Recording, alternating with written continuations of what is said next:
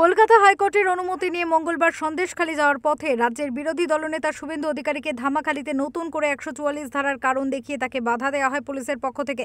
শুভেন্দু অধিকারীর সঙ্গে উপস্থিত ছিলেন আরও চার বিজেপি বিধায়ক। তাদের সঙ্গে উপস্থিত ছিলেন বিজেপি কর্মী সমর্থকেরাও। সেই সময় দায়িত্বে ছিলেন রাজ্য পুলিশের উচ্চ পদস্থ আধিকারিক আইপিএস জসপ্রীত সিং। সন্দেশখালীতে প্রবেশ করতে না দেওয়ায় তার সঙ্গে কথা কাটাকাটি শুরু হয় বিরোধী দলনেতার।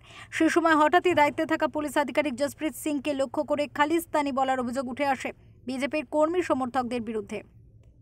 এই ঘটনার প্রতিবাদে বিজেপির রাজ্য দফতরের বাইরে বিক্ষোভ শুরু করে শিখ সম্প্রদায়ের মানুষেরা পাশাপাশি বিক্ষোভ মঞ্চ তৈরি হয় এ বিষয়ে প্রধানমন্ত্রী এবং দেশের স্বরাষ্ট্রমন্ত্রীর হস্তক্ষেপের দাবি তুলেছেন তারা संदेश खाली में शुभेंदु अधिकारी जब वहाँ जाने लगे तो उनको एक ब्रीच ऑफ पीस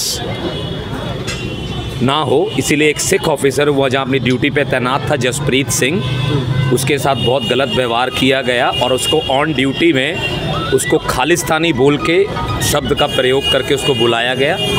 उसके अगेंस्ट में हमारा ये धरना, आज बीजेपी के ये सेंट्रल एवेन्यू वाले कार्यालय में चलता रहेगा, जब तक हमें प्रधानमंत्री नरेंद्र मोदी या गृह मंत्री अमित शाह के से द्वारा कोई रिटर्न अपॉलॉजी नहीं आती तब तक हमारा ये धरना यहाँ चलता रहेगा और हमारी बीजेपी मुर्दाबाद मुर्दाबाद मुर्दाबाद सिख विरोधी बीजेपी मुर्दाबाद मुर्दाबाद मुर्दाबाद शुभेंदु अधिकारी शर्म करो शर्म करो शर्म करो शुभेंदु अधिकारी शर्म करो शर्म करो शर्म करो রাজ্য বিজেপির সদর দফতরের বাইরে বিক্ষোভ চলাকালীন বিজেপি নেতা রাহুল সিনহা তাদের সঙ্গে কথা বলেন এবং ক্ষমা চাইতেও দেখা যায় তাকে सबसे क्षमा मांगते हैं पार्टी की ओर से जो सिख कम्युनिटी को हम देश का हमारा भाई मानते हैं और सिख का जो इतिहास नानक जी से लेकर आज तक है इसीलिए वो देश के लिए काम किया। देश के लिए आज भी कर रहे हैं।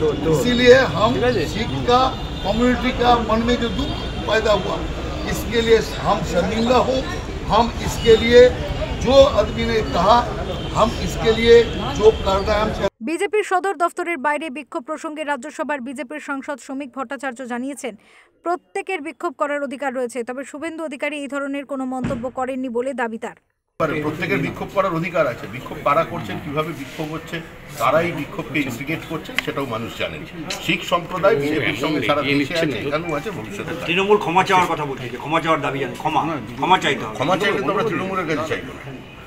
না ক্ষমা চাইব কি আশীর্বাদ করব মালা পরাবো সেটা সম্পূর্ণ আমাদের বিষয়। আমাদের বিরোধী দলনেতা কোনো সম্প্রদায়কে কোনো বিশেষ কমিউনিটিকে আঘাত করে কোনো কথা বলেননি। এদিন শুভেন্দু অধিকারী সন্দেশখালীতে প্রবেশ করতে পারলেও খালিস্তানি ইস্যুতে রাজ্য বিজেপির সদর দফতরের বাইরে আছড়ে পড়ল বিক্ষোভের আজ ব্যুরো রিপোর্ট, ওঙ্কার বাংলা।